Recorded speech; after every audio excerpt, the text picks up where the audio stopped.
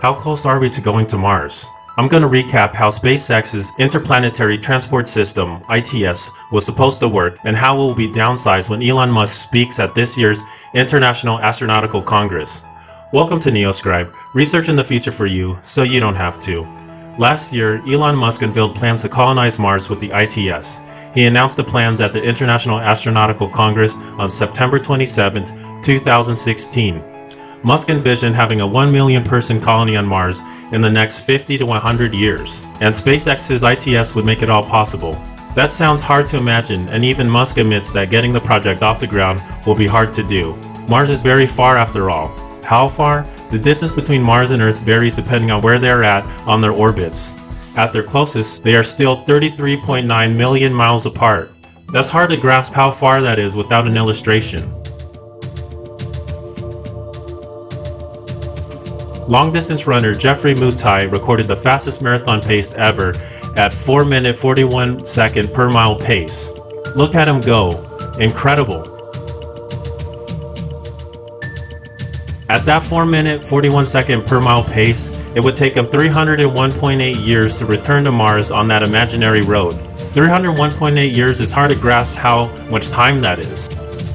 Let's say Geoffrey was put in a time machine, traveled back in time to Independence Day, year 1776, and then teleported to Mars, where he started running back to Earth on that imaginary road, he would still be running towards Earth today, and wouldn't get back until 60 years from now, in the year 2077. Okay, okay, so we established that Mars is far. Now let's quickly go over SpaceX's Interplanetary Transport System, or ITS. If the ITS ever gets built, it would be massive. It would be 400 feet tall, 56 feet wide, and weigh 23 million pounds. The ITS would be fitted with Raptor engines, which are currently being developed and are projected to have three times more thrust than the Merlin 1D engines, which are currently used on the Falcon 9 rocket.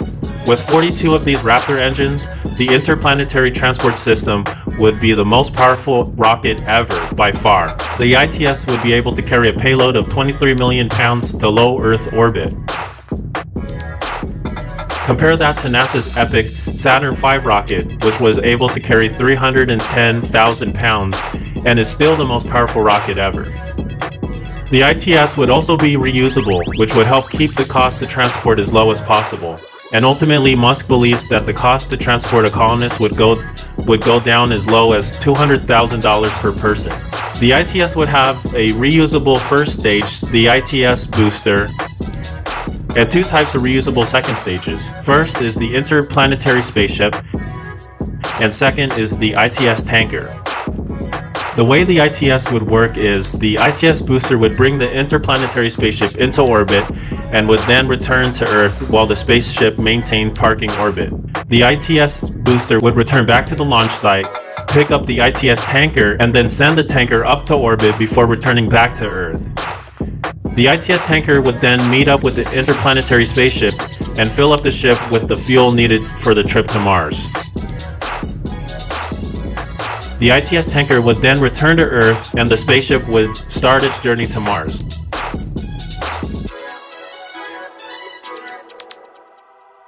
The ITS first mission was proposed for the year 2022 as an unmanned mission to Mars, and the first crewed mission in 2024. Now that seems ambitious, more like science fiction. Not to say that it can't be done, but SpaceX realistically doesn't have the money to make that happen. The ITS would be scaled down from science fiction to reality. On July 22nd, Musk hinted at the downsizing when he tweeted, A 9 meter diameter vehicle fits in our existing factory. The interplanetary transport system was supposed to be 12 meters diameter, so it will be 3 meters smaller. This image is from parabolicarc.com and shows the ITS engine configuration at 42 Raptor engines. The author of the article, Doug Messier, believes that the ITS would lose its outer ring, which consists of 21 engines, and that should bring its diameter down to 9 meters and should lessen its mass by half. So 9 meters is still a whole lot bigger than the Falcon 9 rocket, which is 3.7 meters, and it's just a bit smaller than the legendary Saturn V rocket, which was 10.1 meters and will retain the title as the biggest and baddest rocket to have ever blast off. Musk will speak on September 27th at the 2017 International Astronautical Congress in Australia and provide more details on, on the downsizing of the ITS. I'm hoping we find out when we can expect the vehicle to be developed and produced. Now this is a stretch, but I'm also hoping that Musk announces that SpaceX would, will compete for NASA funding of Mars mission vehicles similar to the Commercial Orbital Transport Services COTS contract. On July 6, Vice President Mike Pence pledged that the United States will put American boots on the ground. A week later, NASA's leadership said that they can't afford to go to Mars anytime soon. Vice President Pence is the head of the National Space Council, which is supposed to meet before summer's end. Summer ends September 22nd, so I hope that the National Space Council will soon announce that they will consider privatizing the, the development of the Mars mission vehicle for NASA, since the COTS contract has worked out so well. Considering the timing of everything, considering the Vice President's pledge and NASA's comments, I think that is possible. So how close are we going to Mars? It's hard to say at this point. But the good news is that we will have a better idea on September 29th. But I want to know what you guys think. When do you guys think the revised SpaceX Mars vehicle will be built? And do you think Musk will announce something unexpected? If so, what? Comment below.